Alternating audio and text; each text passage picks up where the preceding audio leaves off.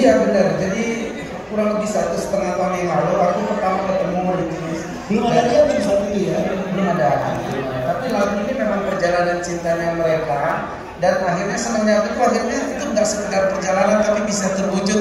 Hari ini akhirnya mereka bisa benar-benar dapat restu akad nikah dan jadi teman hidup selama gitu. lebih bahagia dari kebahagiaan bahagia banget. Dari tadi aku tuh udah dari mobil sampai sini tuh udah ngeliat ih karena kadang-kadang kan kalau nggak terwujud gitu kan gimana gitu lagu pun lagu pun jadi kayak nggak hidup liriknya ini semuanya jadi hidup Benar, tapi kan akhirnya sudah terwujud. Sudah. Teman hidup mudah-mudahan selamanya akan menjadi teman hidup. Amin.